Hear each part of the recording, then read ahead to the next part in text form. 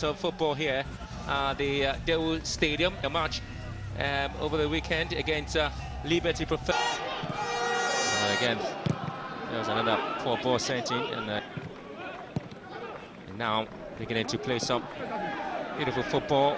Dreams FC. Yeah, but that was Kit of Asante, you know, and Bashir helping. And again, another ball sent in, and finally Hafiz Adams will have to get the ball out to Abako. Adams now for All Stars. Oh, that was dangerous. The feet of uh, Emmanuel Okran. Oh, that was a steel tackle there, but